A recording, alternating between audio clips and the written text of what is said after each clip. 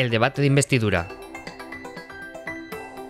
El miércoles 26 de octubre a partir de las 6 de la tarde comienza el debate con la intervención del candidato a presidente del gobierno propuesto por el rey. Lo hace sin límite de tiempo y cuando finaliza se suspende la sesión. El jueves 27 de octubre a partir de las 9 de la mañana se reanuda el debate con la intervención de los representantes de los grupos parlamentarios. En este día, el candidato debatirá con todos los grupos. El orden de intervención de los grupos es de mayor a menor según su número de diputados. Cuentan con 30 minutos en su primera intervención y 10 minutos en la segunda. El candidato puede responder uno a uno o de forma agrupada, aunque lo habitual es que lo haga de manera individual. El grupo mixto divide su tiempo entre las diferentes formaciones políticas que lo componen. El portavoz del grupo al que pertenece el candidato a presidente del gobierno interviene en último lugar.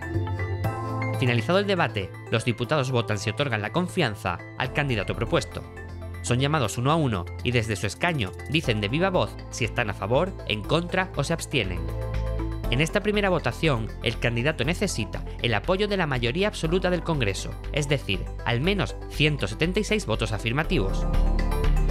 Si no se alcanza dicha mayoría, entonces se celebra un nuevo debate con el mismo candidato, pero con tiempos de intervención más reducidos, 10 minutos para el candidato y 5 minutos para cada uno de los representantes de los grupos parlamentarios.